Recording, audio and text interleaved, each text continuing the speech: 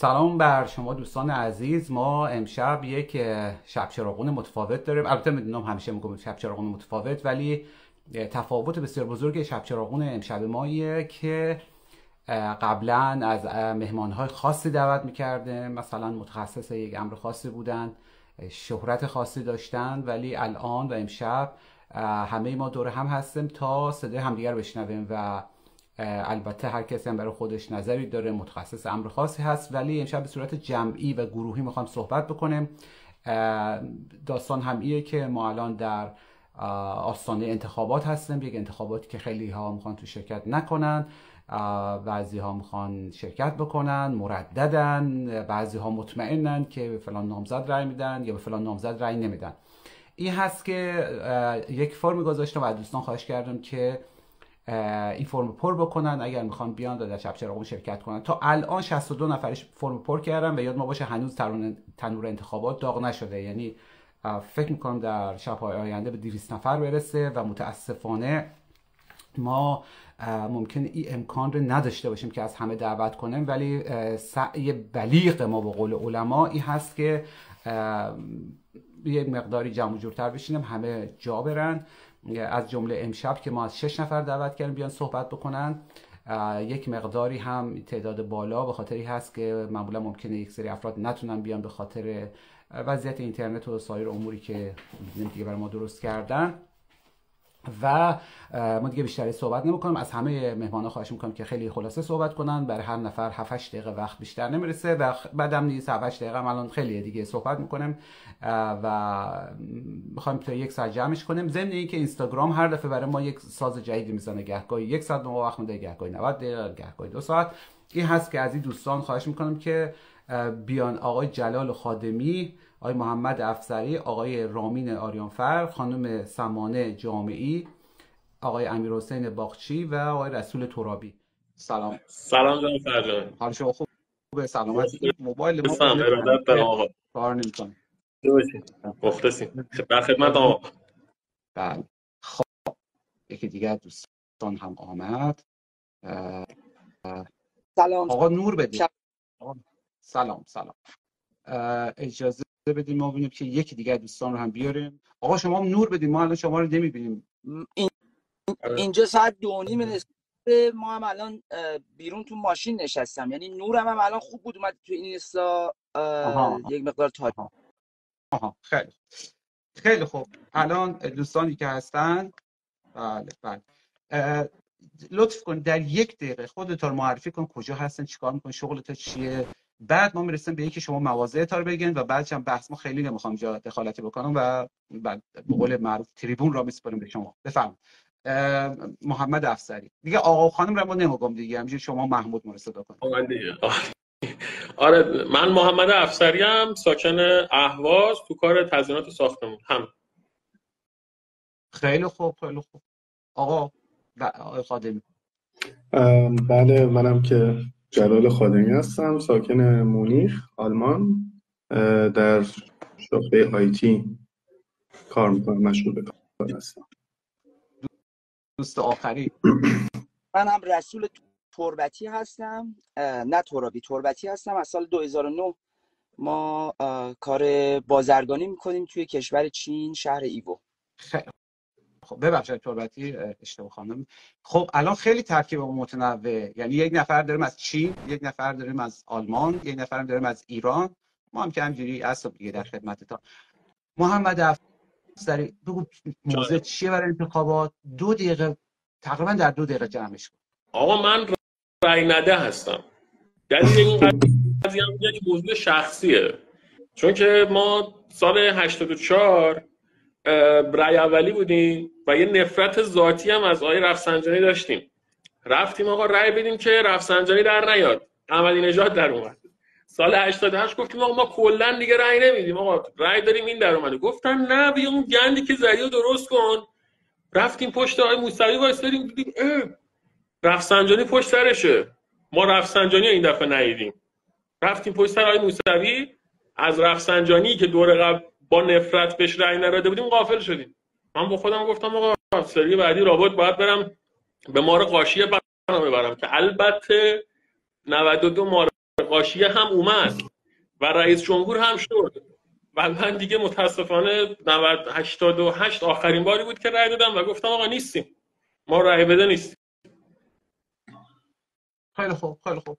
بسیار خوب. شما در ایران زندگی می‌کنید برای دوستانی که نمی‌دونن و یا جدید میان ما هیچ معرفی می‌کنم در اهواز و این موضع محمد افسری در موردی که می‌خواد رأی نده. رسول جان شما چیه موضع قصت چیه؟ ما والا بهتره که از لحاظ سیاسی نگاه کنیم و اول دو, دو تا حالت نگاه کنیم. یکی از لحاظ سیاسی نگاه کنیم که کشور چین چطور به رئیس جمهور ما نگاه می‌کنه. ما چند تا رئیس جمهور از زمانی که من بودم اینجا داشتیم. در زمان روحانی اولین سوالی که از همه ایرانی ها اینجا کردن چون دولت کمونیسته و خیلی راحت میاد سوال می‌کنه و نظرسنجی می‌کنه. سوالی که می‌کرد میگفتش که این رئیس جمهور روحانی با رهبرتون رابطه چطوره؟ آیا حرف شنوی داره یا نه؟ رهبر با این رئیس جمهور همکاری می‌کنه یا نه؟ ببخشید من رفت یه لحظه. مورد بعدی اینه که رئیس جمهور بعدی که اومد آقای رئیسی باز هم همین سوالا بود و خیلی تاکید داشتن که ببینن آیا همکاری بین مجلس و رئیس جمهور رهبر و رئیس جمهور هست یا نه. پس برای اینا خیلی این قضیه مهم و حیاتیه. مورد دوم که خیلی مهمه که وقتی که یک هماهنگی بین مجلس و رئیس جمهور و آقای خامنه ای هستش اینا خیلی راحتتر با کشور ایران کنار میاد. حتی کشور دوست چین. مورد دومی که وقتی که آقای روحانی اینجا بود ما خیلی مشکلات بیزینسی داشتیم. یعنی اصلا همه چی به هم ریخته بود.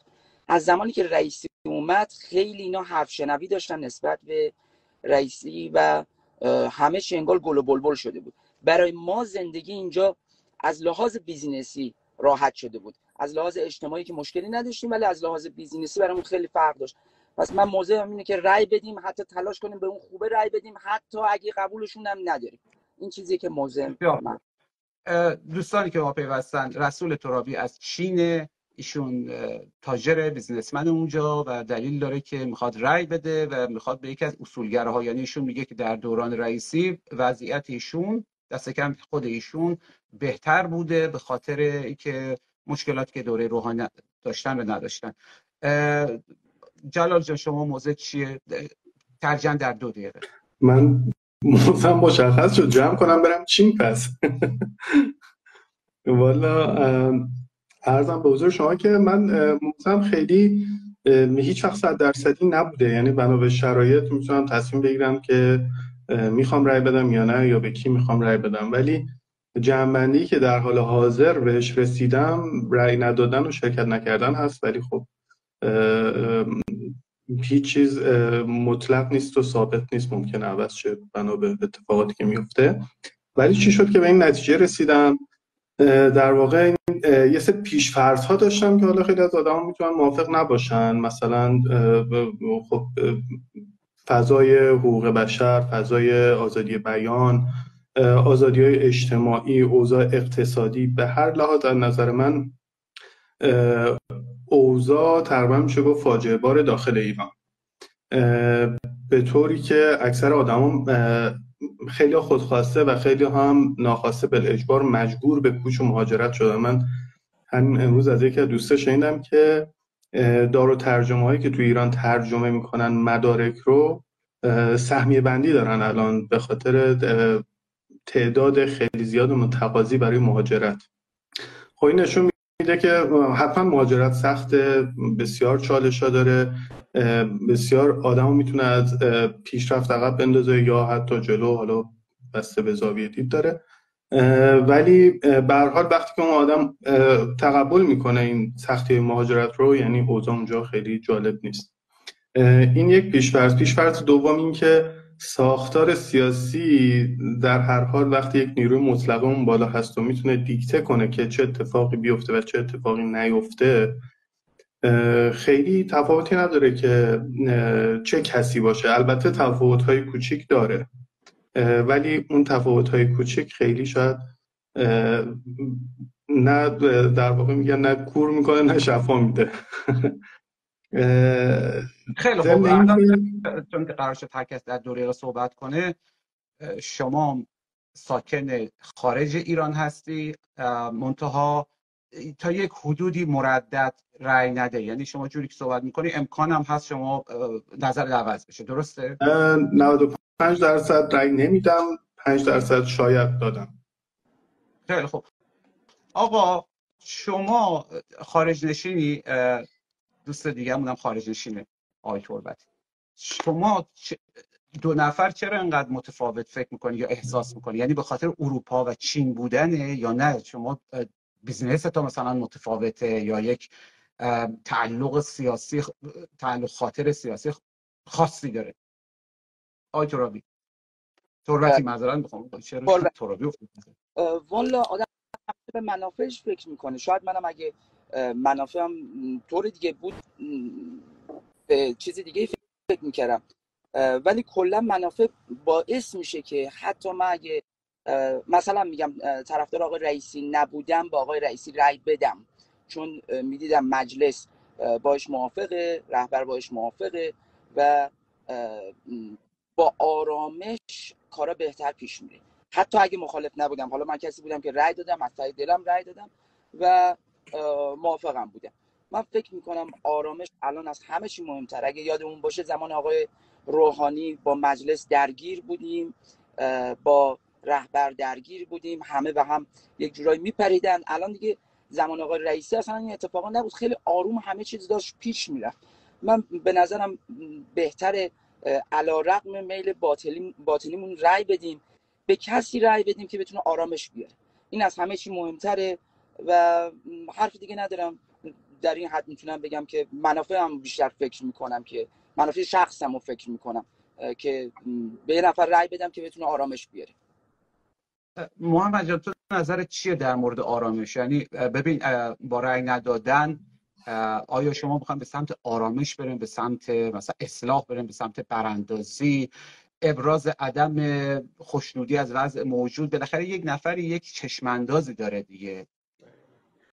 نه من حقیقتا طرف برادرها که مزاحم شما نشن چون الان یه وضعیتیه که مزاحم نمیشن. نه نه اوکیه. اولا مسئله اینه که من اصلا حتی اعتراض هم نمی‌خوام بکنم با رأی ندادن مسئله اینه که من پیش خودم میگم آقا من جبری بالا سرم هست که رأی بدم. اگه هست بگم برم رأی بدم. اگه نیست من چرا باید بین این موجودات عجیب الخلقه یکی رو انتخاب کنم؟ شما ببین تو هر رأیگیری هر کدومشون که از همه کم شناس یعنی ناشناس تر بوده من می‌تونستم بهش اقبال بهتری داشته باشم. یعنی شما نگاه کن الان بیان عینی صحبت کنیم. من چرا باید به قالیباف مثلا فکر کنم؟ می‌دونین چرا باید مثلا به پور اسمش یادم نمیاد محمدی نامی توش هست. آره چرا من باید فکر کنم حتی؟ اصلا احساس می‌کنم از این قیفی که میان بیرون که ما این چندتا رو انتخاب کنیم اصلا چندتایی انتخاب میشن که نباید بهشون رأی داد. میان میگن خب اینا لایق ریاست جمهوری نیستن ولی شما یکی بینشون انتخاب کنید نکته دومی هم که باید بگم اینه که رأی ندادن من مبارزه سیاسی نیست هیچ فضیلتی توش نیست رأی دادن دیگران هم فضیلتی توش نیست. یعنی اگه من رأی نمیدم نباید به کسی که رأی بده بگم تو مزدوری یا اونی که رأی میده به منی که رأی نمیدم نباید برچسب خاصی بچسبون این صرفا یه انتخابه. الان تو میگی که اینا لیاقت ندارن و اصلا حتی فکر کردن به اینا هم کسر شنده حالا اگر درست متوجه شده باشم. کی اگر بود یعنی یعنی تو این مجموعه که امکان داره خب کسی فکر می‌کنه بود که اگر او بود می‌رفتی رنگ دادی به او؟ من سوالم از خود شما اینه. در 20 سال گذشته شما کی رو دیدین که احساس کنین لیاقت رئیس جمهوری رو داره؟ کی؟ یعنی یه جوری شده که الان چه می‌دونم مثلا عادل فردوسی پور بیاد همه بهش رأی میدن چون احساس می‌کنن پاکه. در حالی که اصلا لیاقت اینجا رو نداره ها اما احساس می‌کنن پاکه. ولی شما نگاه کن این اسما رو نگاه بکن. الان اصلا واقعا نمی‌دونم من چرا باید فکر کنم به یه همچین چیزی. که بعد ما از دامن یه پوپولیستی به اسم احمدی نژاد فرار کنیم بیفتیم. دنبال یه آدمی مثل روحانی که کلید در میاره. یعنی من واقعا دارم دیوونه میشم. سال 92 می‌گفتم بابا این دیگه الان با کلید اومده. کلید دست این دیگه خود پوپولیسته. و مردم بهش اعتماد می‌کنن و رأی میدن. از اون بدتر یارو میاد تو مناظره میگه لوله میگه گازنبور من نمیفهم ادبیات سیاسی ما به کجا رفته که ما بعد رئیس جمهور هم میشه. ما گفتیم احمدی نژاد بگم بگم می‌کنه. این اومد لوله و گازنبور رو برد. مسئله اینه که آقا تو موافقه چون حالا تو نظر نزدیکتر به محمد. که میگی احتمال خیلی خیلی قوی می‌خوای رأی ندی. آیا تو هم دلایل همین دلایل یا نه؟ مثلا تو دلیل اقتصادی داری سیاسی داری؟ چیه؟ نظر تو چیه برای رأی ندادن؟ احتمال اول از همه از نظر حرف آقای تربتی بسیار درست هر کسی منافع شخصی خودش رو می‌بینه هیچ ایرادی هم توش نیست کاملا قابل احترام. ولی هنر حکومتداری و کشورداری اینه که حداقل منافع اکثریت جامعه در راستای منافع کل جامعه قرار بگیره. وقتی که عده معدودی یه درصد کمی منافعشون برخلاف منافع جمعی جامعه باشه خب ممکنه که با اون چند نفر هم در بالا در قدرت باشن اتفاق اتفاقی که شاید هستیم میفته. ولی علت این که من رأی نمیدم البته که حرفی که دوست عزیزمون گفتن کاملا متین و درسته ولی اگه یه خورده بالاتر به قضیه نگاه کنیم وقتی یه بازی هستش که نوع بازی رو یکی دیگه برام انتخاب می‌کنه. قوانین بازی رو خودش می‌ذاره داور بازی رو خودش می‌ذاره و مشخصه که ما از پیش بازنده ایم تو این بازی. چه کاریه که اصلا وارد این بازی بشیم؟ مهم نیست که چه کسی کاندید بشه. مهم هست ولی یه درصد کمی خیلی خیلی کم. شاید من چه می‌دونم بخوام دو درصد زندگی مردم راحتتر بشه لحاظ اجتماعی یا حالا هرچی. برم رأی بدم. ممکن است بگم این دو درصد ارزش اینو نداره که توی این بازی از پیش تعیین شده شرکت کنم. چند درصد؟ اگر بود رأی می‌دادی. ببین درصدی حالا برای ساده, ساده تر کردن فهم موضوع و یعنی موضوع مختلفه. مثلا اینترنت آزاد می‌تونه یکی از شرایط باشه. اگر واقعا امروز من خوندم یه جایی پور محمدی می‌گفت ما بساط VPN ها و فیلترینگ رو جمع می‌کنیم. فکر می‌کنم 50 درصد اولش رو فقط انجام بده. اینترنت آزاد آزادی پوشش حداقل چیزیه که ما مدیون آدمای شجاعی هستیم که تو ایران اون حرکت عظیم رو انجام دادن. و این دوتا حداقل چیزاست. این دوتا رو من مطمئن باشم که یه رئیس جمهوری بتونه انجام بده. یا حداقل در جهتش گام برداره و حاضر هزینه دادن بابتش بشه. اون موقع خب من می‌تونم پشتش باستم رسول جان شما میگی منافع فردی حالا میشه گفت یه مقداری هم نظریات غربی و کاپیتالیستی و اینا تو همیه دیگه. میگن هر کس اگر سود خودش رو لحاظ بکنه و این سود در تضاد با منافع دیگران نباشه که البته معمولا اینطوری هست سود جمعی جامعه است. الان شما میگه خب سود شخصی ولی بخش اولش میگه اگه سود شخصی شما مثلا فرض ما خب؟ ما الان یک دلال مثلا تحریم خب اگه بیام بگم سود شخصی ما اخلاقیه به نظره؟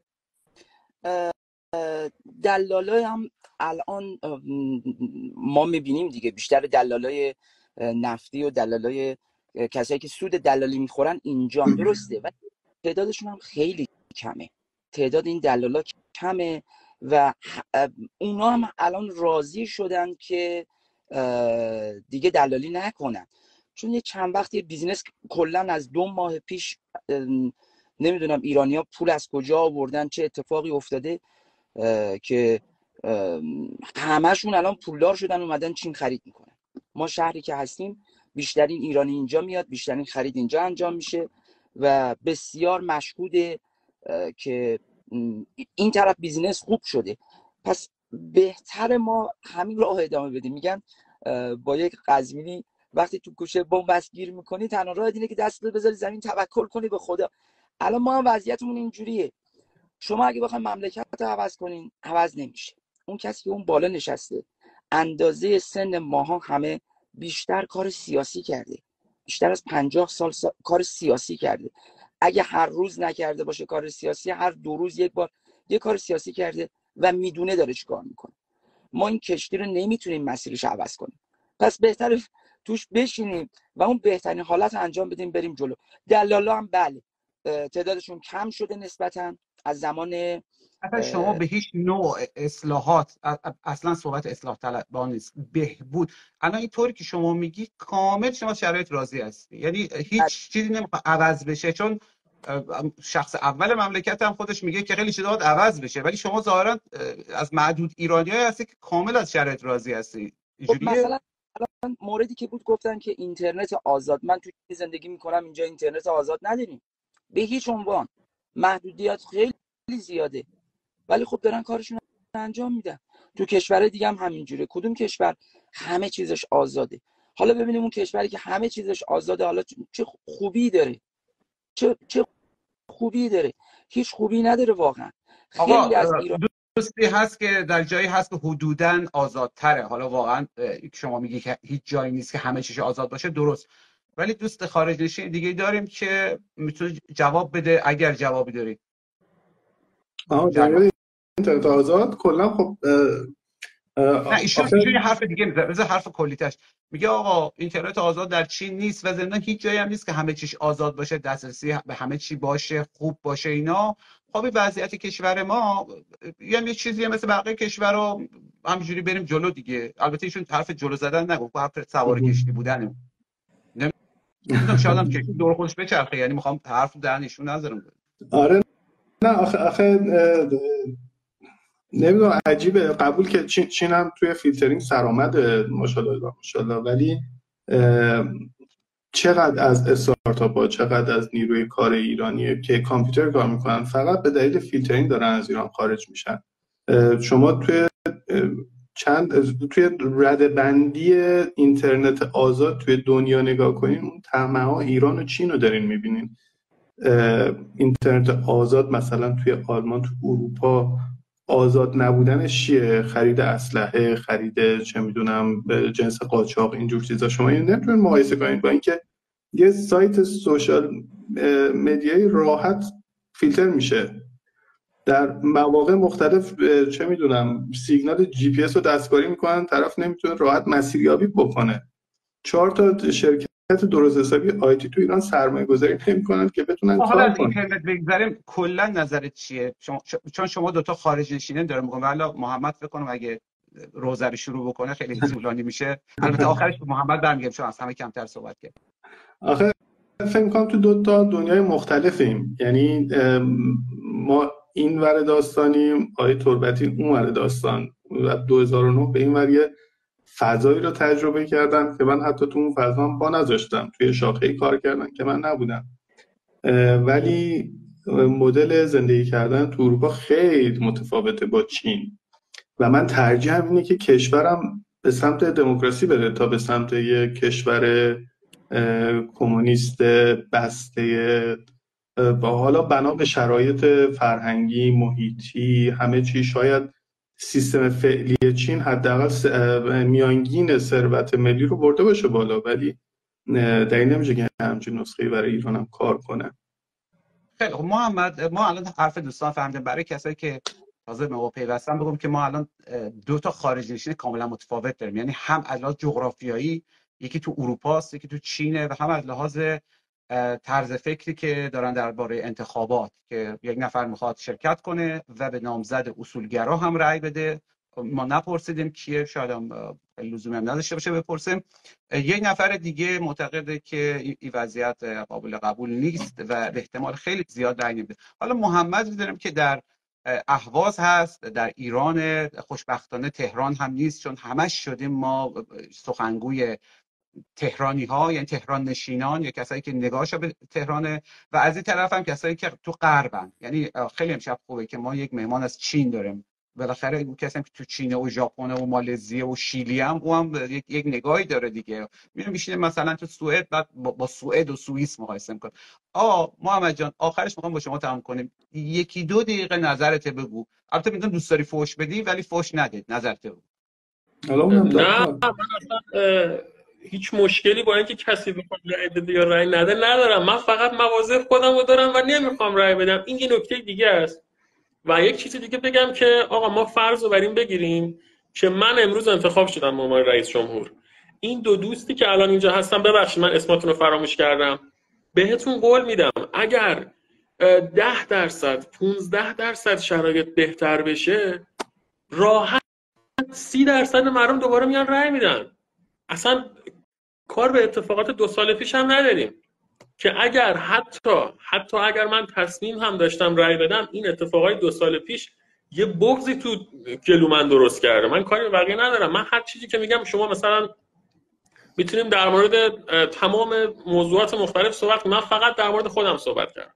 اما احساس می‌کنم که هر کس دیگه ای تو این کشور 10 درصد 15 درصد اوضاع بهتر بشه لمس کنه این بهتر شدن اوضاع رو میره رأی میده. یا یک نشونه ای نشون میده که آقا بله اوضاع بهتر شده منم یه واکنشی نشون میدم. اما این دلیل نمیشه که ما الان هیچی ندیدیم. بعد انتخابات هم مشارکتش پایینه و باز انتظار از مردم داشته باشن که دوباره بیان رأی بدن. این انتظار برای من آزاردهنده است. وگرنه اگه شرایط بهتر بشه مردم میان رأی میدن. یعنی شرایط بهتر بشه بیان رأی میدن؟ که تو دو هفته که شرایط تغییر نمی‌کنه. نه نه نه من این این دو هفته رو نمیگم. میگم فرض رو بگیریم اصلا یک انتخاباتی اومد من با سه هزار تا رأی رئیس جمهور شدم فرضاً. من اگر رئیس جمهور شدم و اوضاع رو بهتر کردم دوره بعدی ما شرکت زیاد مردم رو خواهیم داشت. منظورم اینه وگرنه این دوره که من فکر نمی کنم خیلی مشارکت زیادی داشته باشه. بچه خیلی ممنون. ما سه تا مهمان داشتیم. ببخشید که بیشتر از این نمیشه پای صحبت شما نشست ولی فکر کنم دوستان گرفتن و اگر بخوان شما رو دنبال می‌کنن حالا بعدش هم که ما میره بذارم توی اینستاگرام. شما رو منشن می‌کنم. یعنی دوستان می‌تونن بیان تو صفحه خودت نظر بدن بیشتر صحبت بکنن. ما از شما خدافزی می‌کنم. خیلی ممنون که شرکت کردین. سه تا دوست دیگر می‌خوام به قول اینستاگرام یا بیارم بالا و اونا صحبت بکنن. البته در این جمع اصلاح طلب یا کسی که بخواد به نامزد اصلاح طلب رای بده نداشتیم به خاطر اینکه یه مقداری نظم ما به هم خورد. چون چند تا دوستان نتونستن بیان بالا. امیدوارم که اون دوستان دیگه یعنی رامی سمانه و امیر حسین بتونن بیان بالا. خیلی خیلی ممنون که شرکت کردید. ممنون شبتون بخیر.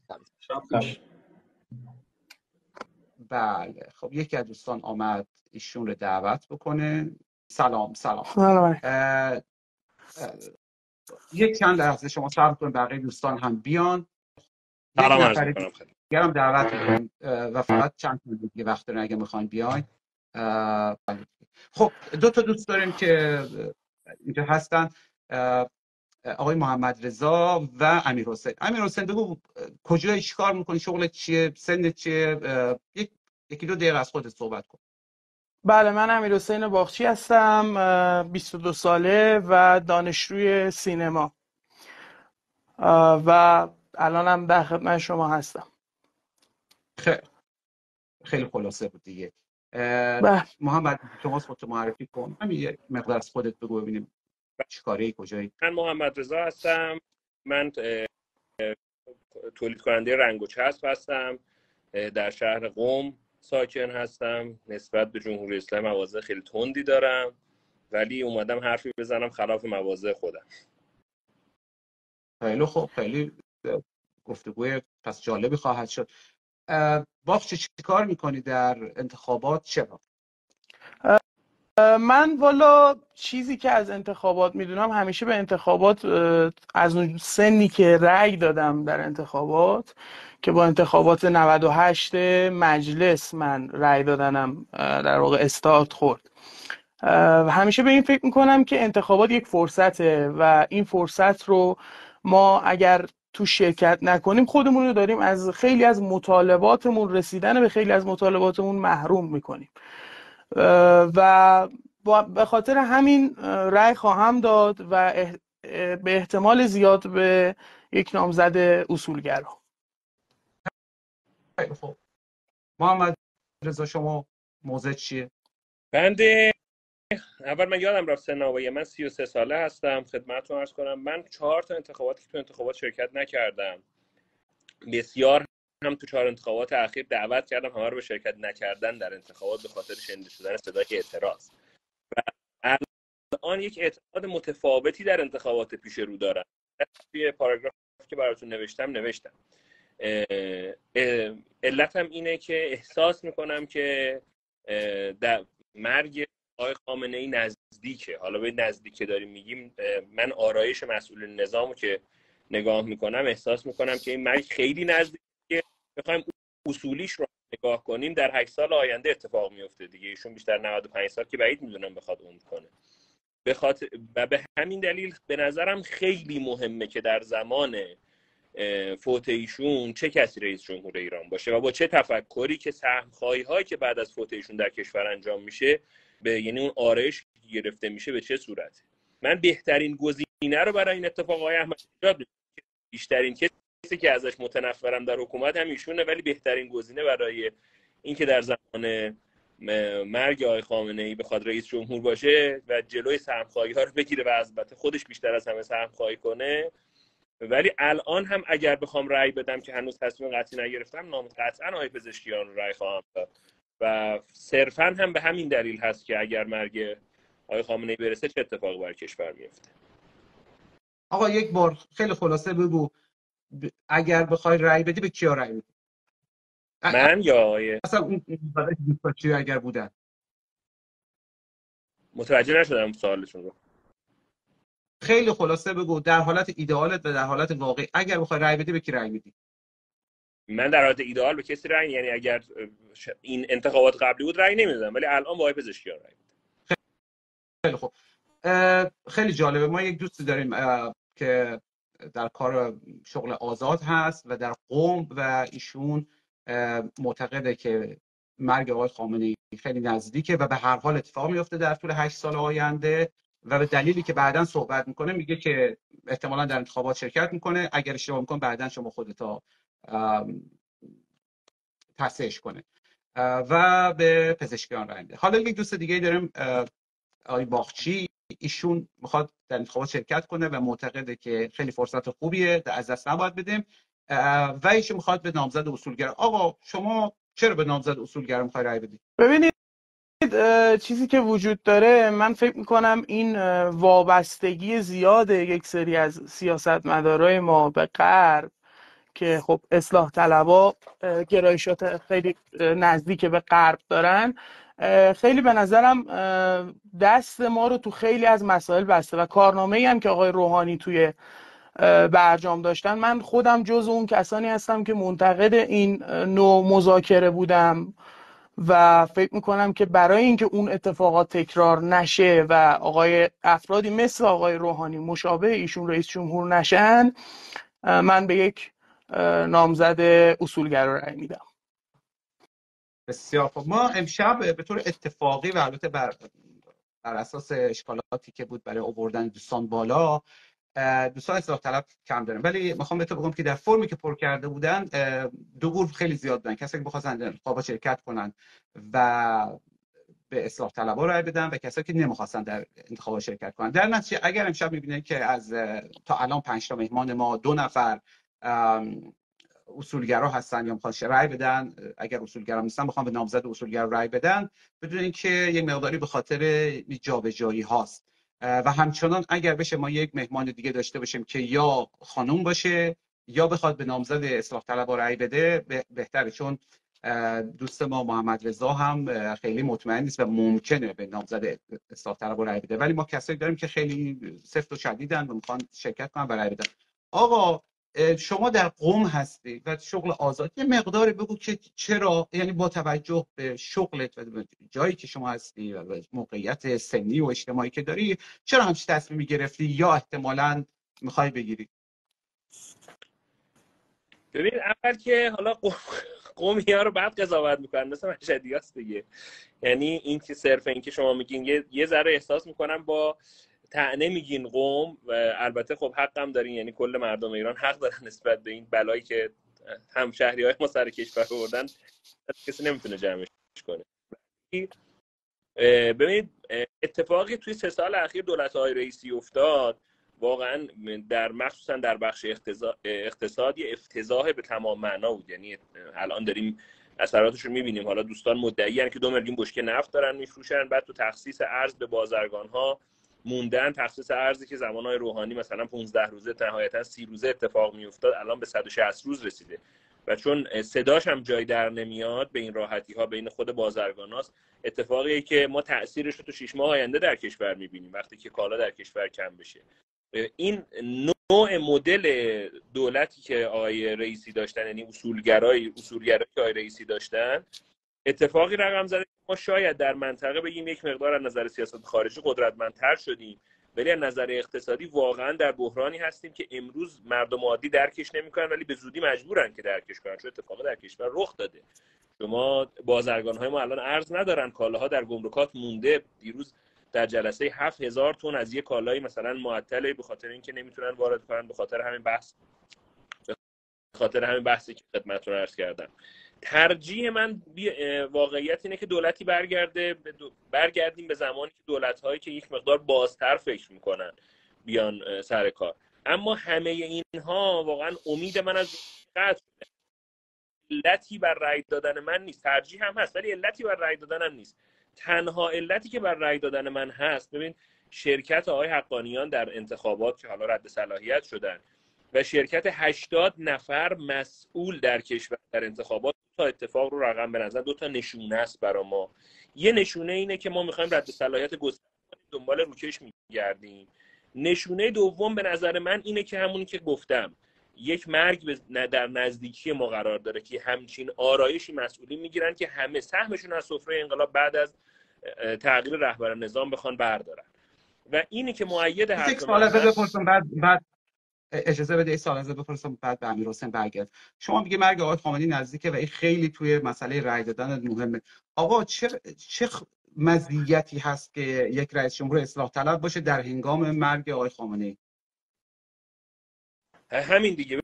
ببینید قدرت مهم در هنگام مرگ آقای خامنه‌ای. قدرت کشور کلا دست اصولگراها هست و تفکر طیف اصولگرا پایداری یا حالا تفکرات مخالف اونها که بگیم اصلاح طلبان هستن یا هر چیز دیگه هم در قدرت باشن که بتونن اون سهم خواهی رو سهم خواهی که یعنی اون تعادل رو در بعد از آقای خامنه ای برقرار کنن. چون الان در که ما نمی‌خوایم اینجا بحث کنیم. یعنی مجالش نیست بخوام در مورد گزینه هاشون بحث کنیم. ولی این اتفاق وقتی میفته این قدرت اجرایی کشور دست دیگه. وقتی قرار عوض بشه اگر این تیپ یکسان باشه چی گفته مهمترین قدرت اجتماعی کشور دست رئیس جمهوره که شما قانون. حالا دغدغه مرگ آقای خامنه‌ای داری؟ الان مگه مگه دست رئیس جمهور بود؟ قانونا در اختیار قانون خیلی خوب. بذار به امیر حسین ظلم نکنید. دوست خیلی جوان ما هست. امیر حسین دانشجوی سینما هم هست طوری که میگه و می‌خواد به نامزد اصولگرا رای بده حالا شما بیا یک مقداری از خودت بگو. به هر حال شما تو کار هنر هستی و چه خوبی داره نامزد اصولگرا برای شخص خودت؟ مثلا وضعیت سینما با اونا بهتر میشه؟ یا فکر می‌کنی بهتر بشه؟ ببینید من فکر می‌کنم اصلاح طلبا علا رقم که میگن خیلی نگاه بازی دارن و مثلا با نگاهشون نسبت به اصولگراها بازتره.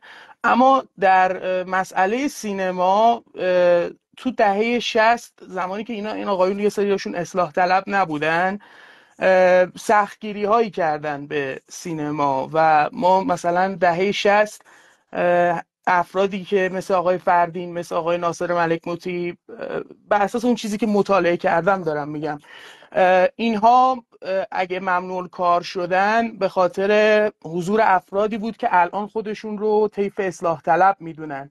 ولی اون موقع جزء تندروترین افراد در واقع سیاسی کشور بودن. شما مشکل و من فکر مثلا فردین اون زمان مثلا یک نفر مثال زدیم.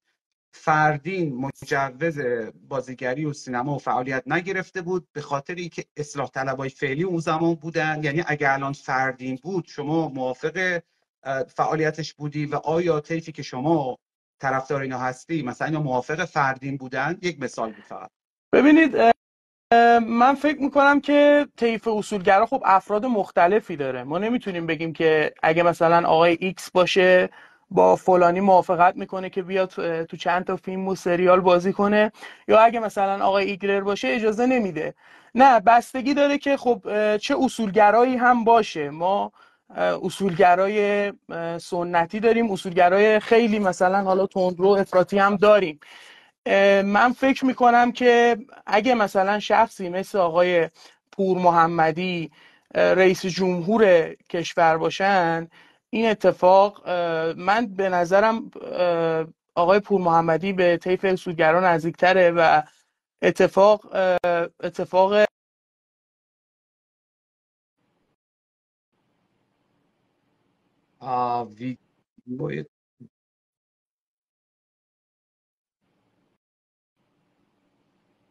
نظر نمیدم. این امکان شاید پیدا بشه که خیلی هایی که ممنوع کار هستن برگردن. صداش قطع میشه. بله. پشت پرده صدا... سبزم داریم الان. صدای من دارید الان؟ حدودی بله.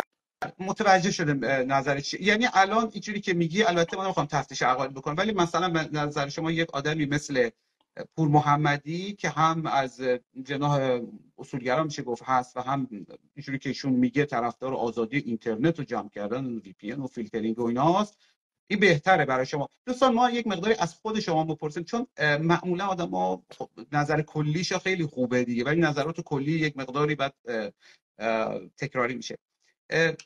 اگر تو یک دقیقه حرف داره جمع کنن لطفا چون خیلی اصرار دارم از دوستانی که هستن بیاریم بالا و شاید 20 بار تلاش کردم همزمان که شما صحبت می‌کردیم ولی یک اشکالیه که مثلا تا شما بزرگواران هستن اینا رو نمیشه آورد برخلاف که باید یک نفر دیگه حداقل می‌تونست بیاد.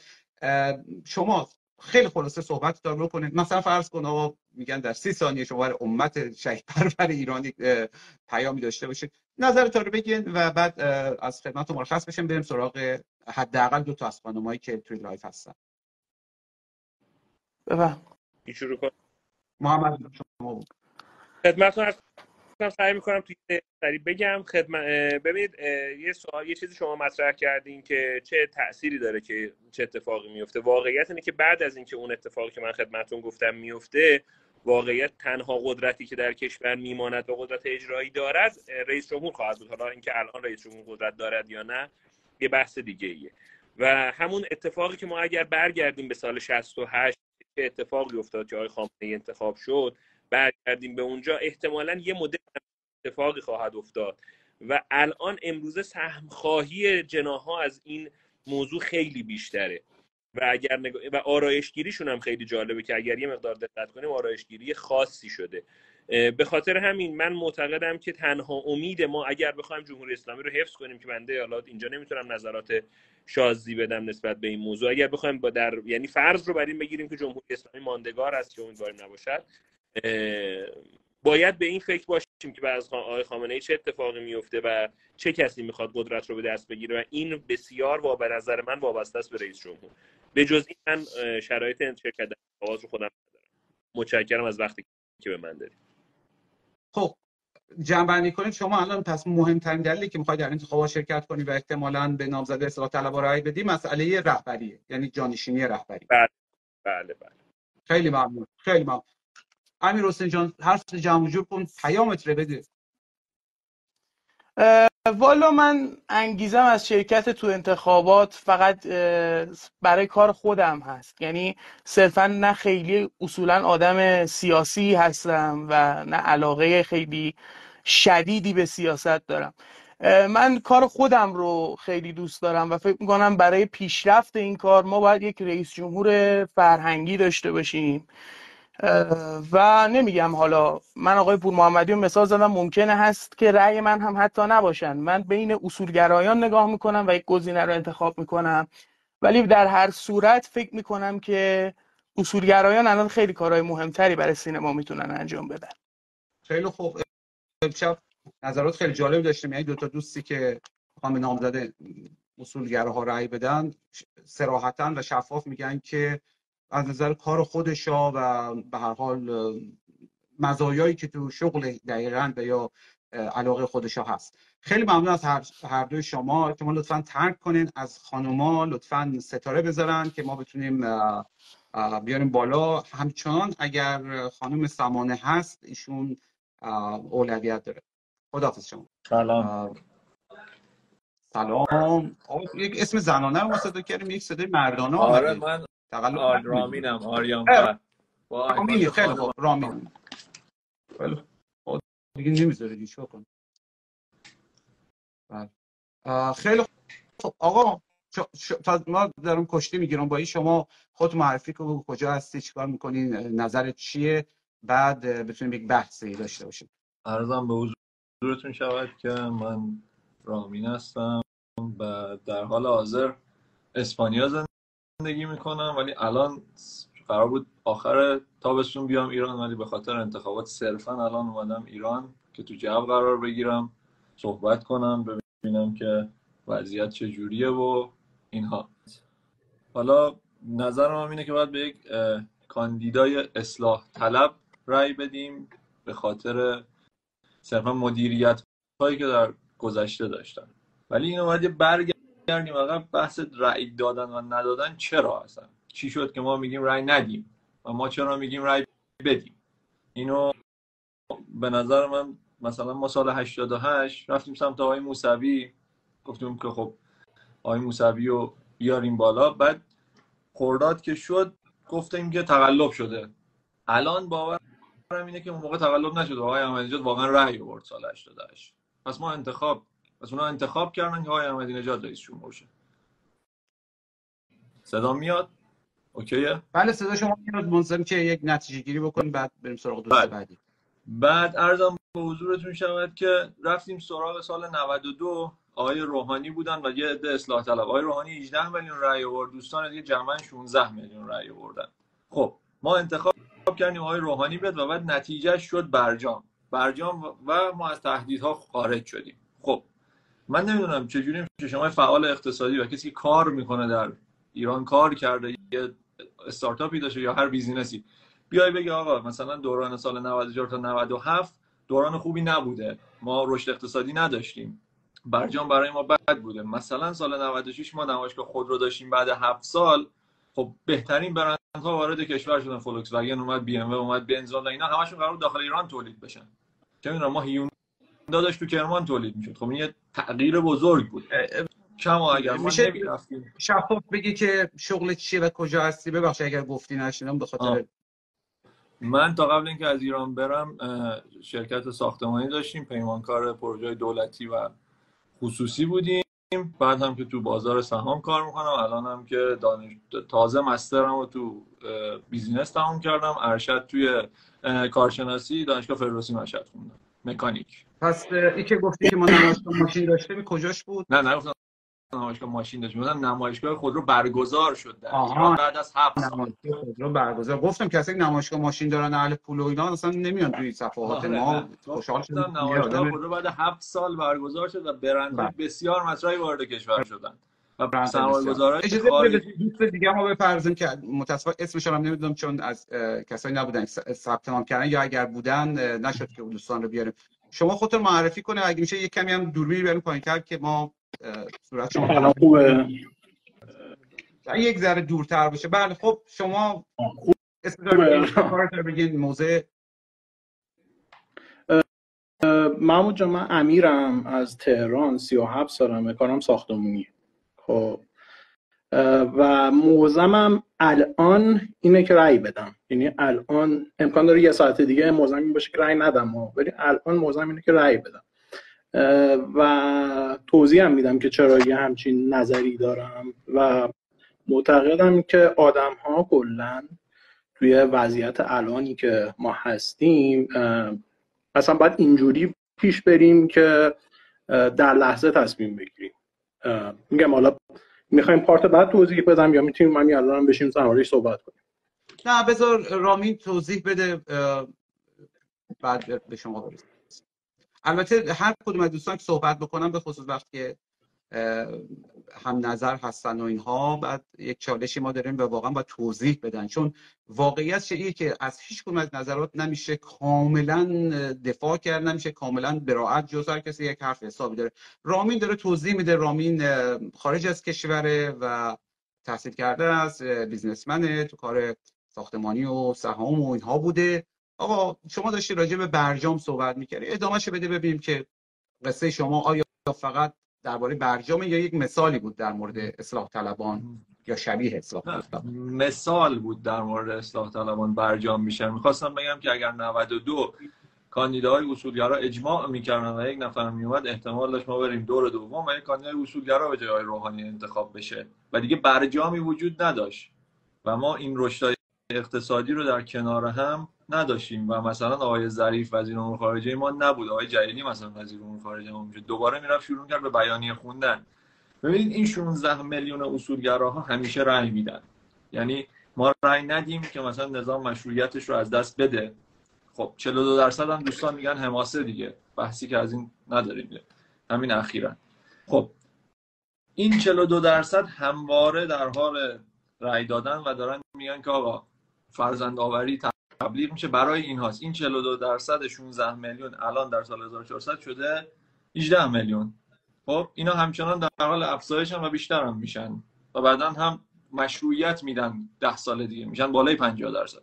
خب این پس دلیل رأی ندادن خوبی نیست. حالا ادامه اون بحث برجام من خدمتتون بگم که یک یک همینجوری سر کن. یک گریزی زدی که احمدی نژاد رأی آورده و تقلب بله. نشد و اینا. خیلی متوجه نشدم که رفتش. چیه احتمال می‌خواسته بگی که اصولگرا هم رأی دارن. ولی اگر الان یک نفری به خصوص از زخم خورده های اون انتخابات از شما بپرسه که آقا از کجا شما به این نتیجه رسیدی و از برای چی داری این مطرح می‌کنی؟ به خصوص که شما میگی به نامزد اصلاح طلبان می‌خواید رأی بدی یا به نظرت مثلا دوره ای که برجام بوده و روحانی اینا بهتره جواب چیه؟ ببینید من گفتم من سال 88 خودم طرفدار صد موسوی بودم با اینکه مثلا 15 16 سالم بیشتر نبود. تازه هم تلویزیون بی بی سی اومده بود درگیر مردم تازه درگیر یک فضای سیاسی خیلی شدید شده بودن گفتم ببینید ما اون موقع خورداد به این نتیجه رسیدیم که آقا تقلب شده 100 درصد. من شاید تا سال 95 96 بر این باور بودم که تقلب شده. ولی امروز روز میگم نه آقا تقلب احمدی نژاد واقعا رأی آورد 88 دلیلم اینه. ببینید آقای احمدی نژاد اومد اون موقع 45 هزار تومان مردم سال 88 به نرخ دلار 3000 تومان که حساب کنیم میشه 12 دلار. که امروز میشه 720 هزار تومان. به قول خودتون ایران تهران مشهد و شهرهای بزرگ نیست. ایران یک قشر کارگر خیلی بزرگ داره که اون 45 هزار تومان تاثیر بسزایی در زندگیشون می‌ذاره. این ببینید از زمانی که من مثلا ما پروژه تو روستاها برمی‌داشتیم. می‌رفتیم با کارگر صحبت می‌کردیم. بعد آقا الان بس مشکل چی که می‌خوای به اصلاح طلب رأی بدی؟ حرف شما درست. الان مشکل شما چیه؟ خب چرا می‌خوای به اصلاح طلب رأی بدی؟ نه من میگم آقا من از اون موقع هم طرفدار اصلاح طلبا بودم. الان هم طرفدار اصلاح طلبام. حرفم اینه اون موقع ما اشتباه کردیم گفتیم تقلب شده. انتخابات راه حل مشکلاته. حرفم اینه الان من دارم میگم من می‌خوام اصلاح طلبا رأی بدم چون برام حداقل چیز وجهه کشورمه. آقا فرق می‌کنه آقای جلیلی وزیر امور خارجه من باشه یا آقای ظریف. فرق می‌کنه کسی دانشگاه آزاد کرج درس خونه یا دنور آمریکا. این خیلی مهمه. حتی خود آقای ظریف که میاد میگه آقا مثلا من در سیاست خارجی صفر درصد کاری بودم اینم از سیاست آقای ظریف فرض کنیم مثلا آقای ظریف هیچ کاره. آقای خامنه ای بهش گفته تو برو به آمریکایی‌ها بگو شما طرح ایستادن تو من حال نمی‌کنم بشین. آقای جلیلی میره به آمریکایی‌ها میگه بتمرک. آقای عبدالله هم میگه برو بشین. آقای ظریف میگه بفرما. خب قدرت گفتمان آقای ظریف بالاتره. من دارم میگم من به اینا رأی میدم. چرا؟ چون تیم مدیریتی قوی دارن. من دوست دارم آقا وزیر نفت کشورم تو اوپک که حرف زنه آقای زنگنه باشه. بسیار این خیلی فرق می‌کنه. حواس ما باید بیشتر به دوستان داخل ایران باشه. از جمله امیر شما داشت صحبت می‌کردیم اواخرش دیگه رفت. حالا باز اگه دوستان می‌بینن برای ما ایشون از دست رفت و یا اگر امیر داره ما می‌بینه لطفا خارج بشه بعد داخل بشه. خیلی خوبه که ما الان یه ترکیبی داریم که به ویژه داخل نشین و خارج چین از چند موضع دارن دفاع می‌کنن. و حالا ما خارج هستیم قصد برگشت به ایران داریم ها. اینم بگم. خب می‌دونید واقعا در اینجور وقتا دیگه قضاوت از ما خارج یکی می‌خواد برگرده ایران یکی می‌خواد برنگرده یکی فکر می‌کنه الان خیلی وضعیت خوب شده. یعنی دوستی داشتیم که می‌گفت اصلا ایرانیا پولدار شدن آمدن چین دارن می‌خرن وضع ما خوب شده و در دوره آقای رئیسی خیلی وضعیت عالی و خوب بوده. به هر حال حرفی که دیگه کارش نمیشه کرد. همزمان ما از تقریبا ده تا خانم دعوت کردیم که بیان تو live و و مطمئنا اشکال از از اینستاگرام. آقا تا دوستان میان شما شما صحبت کن شما صحبت کن. یه مقدار نظرات شما عجیب بود ولی برام قابل درکه. اگر الان به شما بگن که نامزد اصلاح طلبا رأی بیاره شما نمی‌تونی بری داخل ایران. و می‌دونی که این خیلی محتمله. یعنی هر موقع که اصلاح طلبا رأی آوردن جناح مقابل برای که حالا به دلایلی بر خارج نشینا سختتر گرفته. خارج نشینایی که طرفدار اصلاح طلبان بودن خودمون شاهد و نمونه زنده شم شما اون وقت چیکار می‌کنی؟ حالا واقعا میره رأی میدی و میره به نامزد اصلاح طلبا رأی میدی. شخص خودت. شخص خودت بله آقا شما. ببینید من دارم میگم تغییرات جزئی و کوچک. هرچند به ضرر من باشه ولی به نفع کشور باشه اینا هم رأی میدم. اعتقاد دارم که این مسئله به نفع کشوره. یه مثالم حالا اینجا چون خانوادگی پیش اومده اصلا در انتخابات مجلس براتون می‌زنم. ببینید سال 98 من سبزواری هم احتمالا اسم سبزوار رو شما با آقای اندابستانی بشناسید دیگه درسته؟ سر قضیه سرباز رو کشیده. بله. بله. بله. چه بله. نه خب واقعا خیلی باعث تاسف بود که جوابش کاملا نخیر بود چون تنها چیزی که از در ذهنمون نبود آقای عنابستانی بود به خاطر گفتی سبزوار به چی می‌شناسه سبزوار اینقدر به چیزای بزرگی می‌شناسیم که. آقای عنابستانی اخیرا اخیرا بله، بله. شده بود بله سرباز کتک بله. زدن و فلان آه. آره سال 98 80 هزار تا رأی ایشون داشت خب سال 88 80 هزار تا رأی ایشون داشت و در سال 402 ببینید پدر من کاندید شد برای مجلس و تایید صلاحیت شد. ایشون به عنوان یک تندروی مخالف جمهوری اسلامی شناخته میشه به نظر من با نظریاتی که داره. خب؟ و این مسئله درون خانواده مثلا خانواده اعضای خانواده میگن تو آبروی ما رو می‌بری با این کاره. ولی ایشون گفت آقا ما باید نذاریم یه همچین آدمی بره آبروی شهر رو ببره.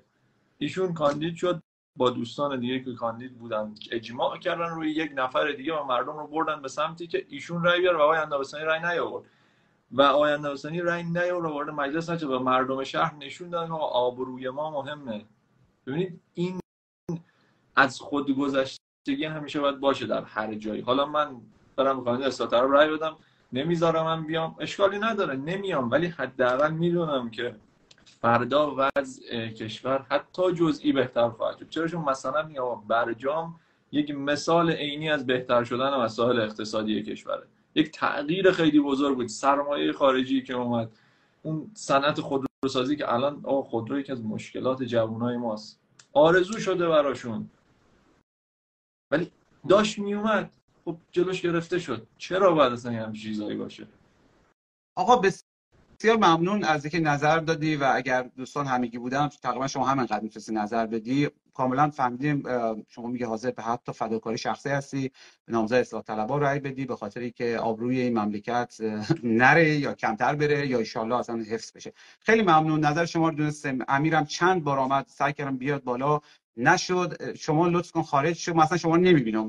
شما دیگه مرامی خارج شد و. باز سعی کنیم که برای آخرین بار ضمن ورود فراوان به بوه پدر آقای زاکربرگ با پلتفرمی که طراحی کردن ما یک بار دیگه سعی کنیم از خانمایی که می‌خواستن بیان حداقل یک نفر بیاد شبهای دیگه هم خیلی بیشتر از خانم‌ها دعوت می‌کنیم. ضمن اینکه اگر این رو می‌بینید لطف کنید فرم پر کنید چون نسبت خانم‌ها خیلی خیلی کمتر از آقایونه که خواستن نظر بدن و به همین خاطر ممنون میشم که بیشتر مشارکت کنن. یاد ما نره که بزرگترین جنبش اجتماعی چند دهه اخیر شاید میشه گفت یک جنبش خواستگاه زنانه بود و خیلی حیفه که ما صدای خانم‌ها رو نشنویم. در میون آقایون خب یک نفر اونم در, میون حرفای دیگه اشاره به مسئله حجاب کرد. ولی شاید اگر خانم‌ها بیان خیلی خیلی مسئله باشه پررنگتر باشه.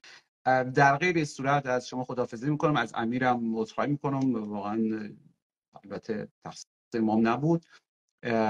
همچنان کامنت ها بازه ما همچنان دوست داریم صدای شما رو بشنویم. دوست داریم که اینها رو در قالب پادکست حتی اگر شده باشه به صورت موقت انتخاباتی چون می‌دونید که شب چراغون اصولا قصهش چیز دیگه است. اینا رو بذاریم شما لطف کنین در بحثا شرکت کنین لطف کن کامنت بذارین.